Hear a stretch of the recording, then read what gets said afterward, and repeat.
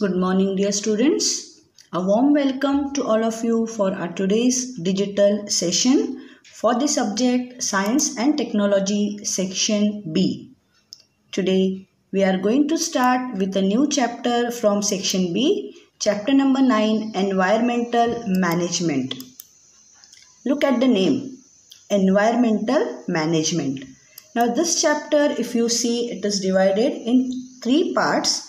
In the first part, we are going to study about weather and climate. In the second part, we are going to study about solid waste management, that is the need of the hour. And the third part, disaster management. So, let us begin with the first part weather and climate. Both the words are known to you right from the previous or the lower classes, weather and climate. So, what is the difference between both these terms? Weather, atmospheric conditions at a specific time at a particular place are referred to as weather. If you sit at home and you say, Today it is very cloudy, or today the climate is very hot, today it is very cold, and we have got light showers of rain. We are speaking about weather. So, at a specific time, at a particular place, means weather can differ from place to place. If there is rainfall in Mumbai, if there is rainfall in Borivali, might be Churchgate, a part of Mumbai, there won't be rainfall, but there will be dark clouds or the environment will be cloudy the environment will be humid. So this is weather. Then what is climate? Climate is a long-term predominant condition of the atmosphere. This we frequently express our opinion about the weather by making different statements. We say today it is cold, today it is very hot, but we don't speak about climate on a regular basis.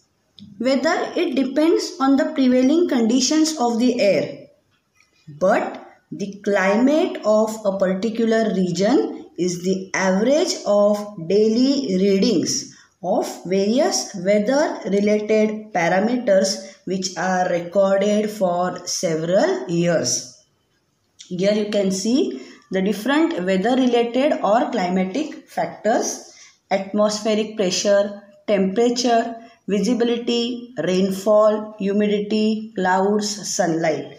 So when you record everyday's weather and depending upon the weather related different parameters, its average which is not recorded for a particular day or for a particular week or a particular month or year but recorded for several years forms your climate of a particular region. In a country like India, which is divided into different states, the climate in Maharashtra may be different. Climate of Kashmir may be different. Climate in Uttar Pradesh, north side, it may be different. So climate differs from region to region, whereas weather if you speak, it differs from place to place within a particular area also. It is short term. That is the major difference between weather and climate. Now let us see the next topic changes in weather. Now as I have told you in the beginning climate it does not change continuously. Climate is what? It is that which remains constant in a region for a long duration. If you speak about the climate of Kashmir, it is quite cold so if it is cold in kashmir today. Immediately tomorrow it will not become very hot. So climate it does not change continuously. It remains constant for a longer duration. So if we see about weather weather is related to a specific location and specific time. Whereas when you speak about climate it is related to a longer duration and larger area for a particular state a larger area whereas when you speak about weather it is for a particular you can say city for a particular within maharashtra in Mumbai city, in different places, weather may change. So this is the major difference between weather and climate. So changes in the weather may occur for short periods of time. In the morning there might be heavy rainfall which in the evening sorry in the evening you will get very low showers of rain. During the night time you may see that the rainfall has stopped completely and the next day you will have no rainfall and the climate will be very hot. It will be humid. So from this what you can uh, you can say what is the resultant that weather may occur for short periods of time whereas changes in the climate take place slowly over a much long duration. And thus what you can infer is climate plays a very important role in our day to day life. If you see if you study about the climate it is the one who influences our basic needs like clothing, food, shelter as well as our occupations. Why? Especially if you speak about climate, it is important for an agrarian country like India. What do you mean by agrarian country? The country whose main occupation is agriculture, agricultural country. Now you can ask how climate it influences our basic needs like clothing. Here you can see different pictures which I have displayed. It is the climate of a particular state which decides your clothing. We'll take different examples. If you take the example of Kashmir, the climate there is very cold. So what will be the type of clothing for people of Kashmir? They are going to wear the clothes which will keep them hot they are going to make use of shawls. They are going to make use of sweaters. Whereas you come to a region a state like rajasthan where the climate is extremely hot there you are going to prefer cotton light clothes. So it is the climate which is deciding the type of clothing which you are going to wear. Similarly when you speak about the food what type of food, what type of food grains, which type of vegetables grow depends upon the climate. The main part who plays a role here is climate. Climate, the type of the soil, that decides which type of crops are going to be grown and hence the food of that particular region of that particular state is decided if you take the example of Konkan, you can see here the main source of food here is the non-vegetarian food in the form of fish which is available from the oceans. So the main food which will be included in the diet of people living in Konkan will be fish, different types of fish. When you go to Kashmir side, you know Kashmir is uh, a state where apples are grown in large numbers or different types of dry fruits. The cold climate there favors the growth of these fruits. So fruits will form a major part of the food. Next, shelter. So when you speak about the shelter also, if you have studied about the Tundra region and all, where the climate is very very cold, Eskimos, the type of clothing which they wear or the igloos the houses which they live in made up of ice. So it is the climate over there which is deciding their mode of shelter as well as our occupations. This is very important. Just now i have told you you can see here a picture of people selling different vegetables in boats. This is the scene which you will see in kashmir where I have told you different types of vegetables and all are grown. So this way you can see in the picture the vegetables are sold in Kashmir. In Konkan fishery will be the main occupation. In Rajasthan where the area you call it as desert area there you can see people riding on the camels. The local people which stay in Rajasthan they attract the tourists. Tourists visit this Rajasthan especially for different types of festivals over there and camel riding done in the desert. So that climate that type of you can say temperature over there it is deciding the occupation of the people so it is the climate which plays a major role not only that various climatic factors like direction and speed of the wind temperature, atmospheric pressure, etc. They are considered during construction of runways, seaports, huge bridges and even the skyscrapers. And from this what you can say that weather may change in the morning, in the evening. So that weather is not going to play an important role in deciding your occupation, in deciding your type of clothes which you wear. It can be for a, one day. That today it is quite cold so today i will wear woolen clothes.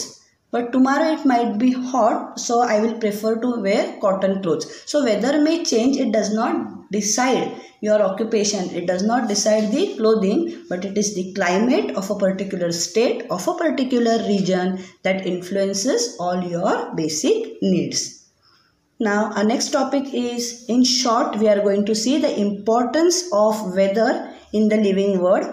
world. Actually this part is removed out from the syllabus. Coming Friday that is tomorrow in the live session I request all of you to sit with the textbooks because I am going to give you chapter wise reduction in syllabus 25% reduction in syllabus due to the pandemic. And chapter wise I am going to give it. So this part importance of weather that is actually removed out from the syllabus but it is a very important part related to this topic. So very quickly we will have a glance at this importance Quickly we will go through the points. Importance of weather in living world. Daily weather as also long-term climatic conditions influence human lifestyle directly or indirectly. Climate of a particular region helps to determine the diet, clothing, housing, occupation and lifestyle of the people of that region. This point we have discussed just now how climate helps in determining. Now when we speak about diet, I have taken the example of people who stay in Konkan, how fish form a part of their diet. Next point is climatic factors bring about the weathering of rocks in the earth's crust. Climate plays a very important role in the formation and enrichment of soil. Microbes in the soil play an important role in the formation of organic materials. This process depends upon the different climatic factors. So you don't have to study this part because already it is a reduction in syllabus. Just we have gone through the points. Now next is about the determination of climate. Who determines the climate and the climatic factors? Now, while ascertaining the climate of a particular region, while deciding the climate of a particular state, of a particular region, a review of the earlier studies of various aspects, as I have told you in the beginning, climate is not decided by taking the recordings of weather for a short span of time. It is the average of the daily readings of various weather related parameters recorded for many many years for several years. So when you are deciding the climate of a particular region a review of your earlier studies of various aspects of the climate is very important. For this the establishment of meteorology departments is done by most of the countries. Most of the countries in the world, they have established meteorology departments for the making and recording of such observations.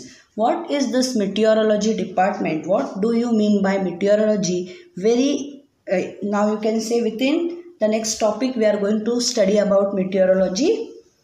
So now how this meteorology departments, they find out, they determine the factors which are required for the determination of particular climate. So this department, they have observatories, presence of observatories.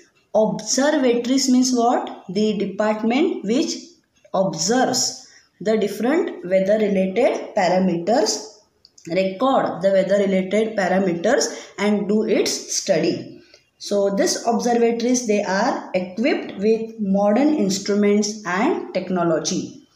If present climatic conditions they are analyzed with reference to the past climatic conditions then we can predict climatic changes of the future. So prediction of climatic changes of the future how it is done by relating, by analyzing your present climatic condition with reference to the past climatic conditions in that particular period of time.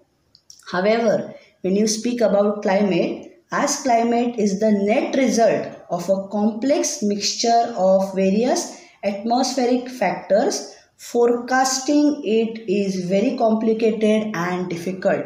So the next part which plays a very important role in the determination of climate is weather forecasting. And however, where climatic changes are complex, where the changes are interdependent and rapid, there making the forecast is very very difficult. So climate is not very easily determined on the basis of certain parameters but long term study of the different weather related parameters is done is observed and then only the climate of a particular region is decided very strongly. Now as i have told you here we are going to study about meteorology. Now what do you mean by this term? The science that studies the interrelationships between the various components of air, natural cycles, geological movements of the earth and climate is called meteorology.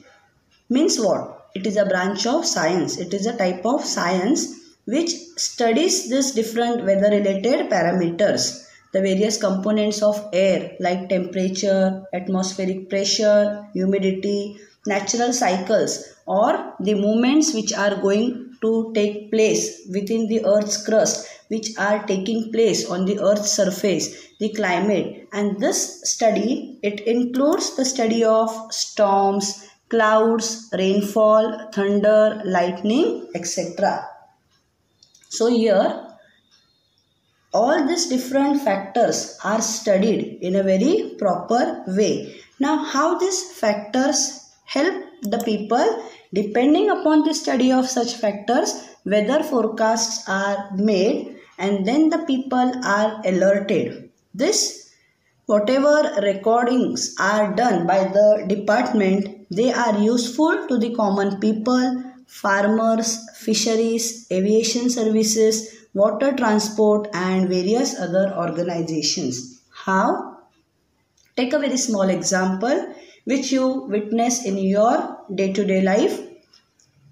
In the rainy season, especially in the rainy season, through the different social media, Facebook, news, WhatsApp, you get alerts from the meteorology departments. The alerts are in the form of red alerts, orange alerts, making the people aware that this this changes in the weather is being observed and based on the recordings you might witness heavy rainfalls in this particular region so people are advised not to move out of their houses unless and until for any urgent cause. Now how this is benefiting the common people? Here the people can decide about the work. They can plan the work for that particular 2 or 3 days. The education department can instruct the schools and colleges to be kept closed so that children can be safe at home. The people who are engaged in the fishing occupation can get the alert and they can decide that this two or three days they will be away from the ocean. Just now we have witnessed about the cyclone Taukte. So before the cyclone it hit the regions, we were alerted, we were uh, told by the department. So the people near the seashores and all they were shifted to a safer place and the loss of life was reduced. In this way the department plays a very important role benefiting farmers, common people and the people who are engaged in different activities. Now which department takes care of all these recordings? For India we are going to speak. It is the India Meteorological Department which is also called as IMD. Now this IMD the India Meteorological Department, it was founded by the British in the year 1875 and at Shimla. And its head office, if you see, it is at Pune and regional offices are at Mumbai, Kolkata, Chennai, Nagpur and Delhi. Now what is the main function? How does this department work? On a regular basis, maps are prepared every day. So preparation of maps is the first stage. Maps are prepared every day which indicate the daily predictions about the weather. How the weather is there today in the morning. How the weather is there in the evening. If you see the news every day on the television, they tell you about the weather. At Nagpur now it is so and so degree Celsius at Mumbai so and so degree Celsius. So how this information you get? By the preparation of maps which is done by this department. Such maps they are prepared and published twice in every 24 hours means in a day twice such maps are prepared and published and hence you get the weather recordings in the news twice in a day. In this institute research goes on continuously on various aspects like the instruments for climatic readings, predictions about the climate made using radar, predictions about the climate related to seismology, predictions regarding rainfall by satellites, air pollution, etc. Now, continuous research is going on. Here, whatever you can say inferences are given by this department does not depend only and only on the work of one day but if you see continuous research is going on. So the imd it provides important information regarding the weather and climatic conditions to different other departments like the aviation department, shipping department, agricultural sector, irrigation, marine oil exploration, production, etc. etc. So the other organizations, the other departments are also alerted by the IMD. Predictions regarding the calamities like dust storms, sandstorms, heavy rainfall, hot and cold waves, tsunami, etc. They are communicated to the various departments, all the types of mass communication media and all the citizens. Just now I have told you, we get the alert about the rainfall. We got the alert about the cyclone. If there is some, you can say, changes found in the earth's crust, particular region is alerted about the uh, earthquake. So all these alerts reach the citizens via the mass media, communication media. So this communication media gets this information from the IMD. For this purpose, India has launched several satellites equipped with high-class technology. Observatories at several locations, they are really doing an excellent work in the analysis of the information received from these satellites. So the main purpose or the main work is providing information about the weather and climatic conditions to other departments. This is the main function of IMD. Predictions regarding calamities. Monsoon model and climate prediction now the tradition of forecasting the monsoon season in India, it is older than 100 years. It was H.F. Blandford, the founder of IMD, that is the India Meteorological Department. He had made such a prediction for the first time taking the snowfall in the Himalayas as a parameter for his prediction. And in the decade of the 1930s, the then director of IMD was Sir Gilbert Walker. He had underlined the relationship between various worldwide climatic factors and the Indian monsoon and he Based on the available observations and previous recordings related to this relationship, he put forth a hypothesis regarding the nature of the monsoon. If you speak about India, with the initiative of Dr. Vasantrao Gowarikar in the decade of 1990, a uh, monsoon model based upon 16 worldwide climatic parameters was developed. 16 worldwide climatic parameters and this model was in use from the year 1990 up to the year 2002 and if you speak about the present situation new models are being developed at the IITM and work is in progress at two levels that is designing new models and developing new technology here the main focus is on the development of the radar system and satellite technology because it is the satellites which provide such important information to the meteorological department. With this, we complete the first part of the chapter that is about weather and climate. We are going to just get introduced to the next topic of this chapter. The next part of this chapter, solid waste management that is the need of the hour.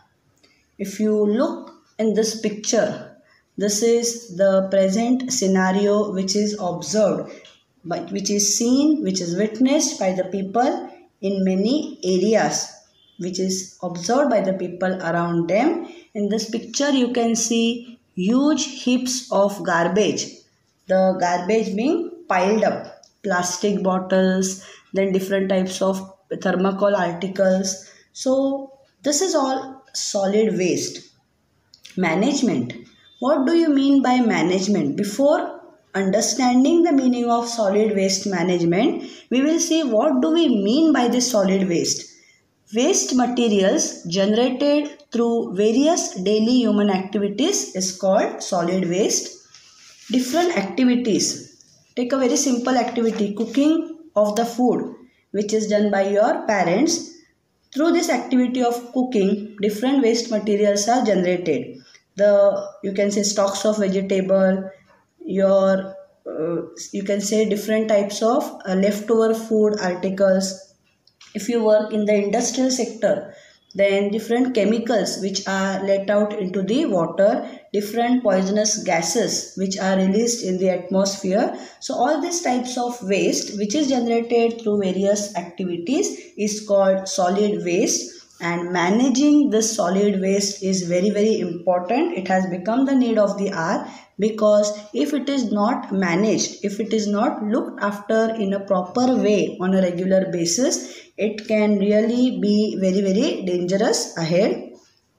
If this waste materials they are properly disposed of they can be a valuable source of energy especially the biodegradable waste which we are going to speak about later currently if you see Solid waste is a serious worldwide problem as it causes both water and soil pollution. So solid waste is a serious, it is not only a problem for India but it is a worldwide problem because this solid waste, waste is generated every day, every hour through different activities and if it is not disposed of if it is not taken care of in a proper way it can be very very dangerous to the environment it is also a serious problem from the point of view of economic growth, environmental degradation.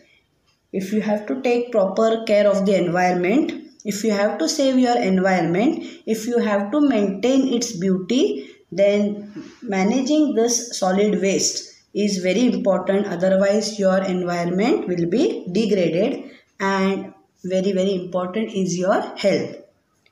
Just imagine if you are having your house, if you are having your bungalow besides such type of garbage heaps, then what will be the output?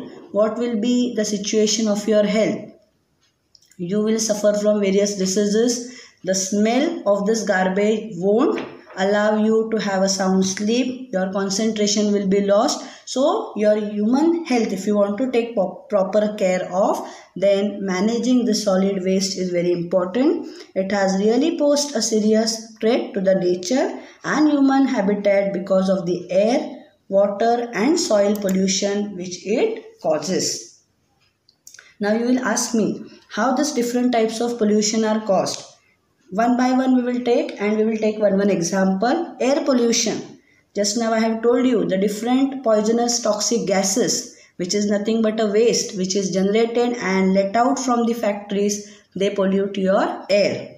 Water pollution. If the same you can say different types of chemicals or pollutants are let out from the industries directly into the water bodies your water pollution arises. And soil pollution land degradation you have seen. Such heaps of garbage if are allowed to pile up for months for years then surely the quality of the soil the quality of that land in that particular area will be affected. So in this way if this solid waste is not managed in a proper way it is really going to be dangerous and serious ahead because different types of pollutions are on the you can say they are trying to eat our mother earth. They are trying to threat pose a really threat to the community to the people to the habitat natural habitat to the environment. So now which are the different types of waste and how why this solid waste management is necessary and how you can control how you can manage the amount of waste which is generated that we are going to study in our next session so I request all of you when you attend our tomorrow's session, video session, you are going to read through the topic. You are going to read the topic on solid waste management and then only you attend the session. So if you know the topic, then understanding will become easier. And in our live session tomorrow, sit with the textbooks because we are going to mark the reduction in syllabus for science, both the sections science 1 and science 2 because we are having a common textbook. Thank you for today. Stay at home, stay safe, at the same time concentrate well on your studies. Thank you dear children.